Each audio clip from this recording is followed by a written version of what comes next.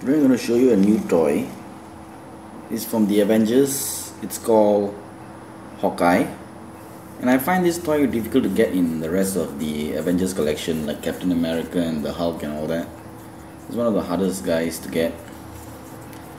And uh, this figure is actually extremely unique. It has all the arrows, guns, the, the weapon pack and you can see the logo here.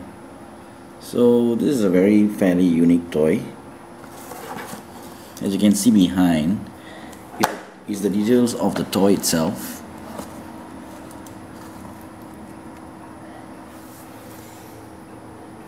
And uh,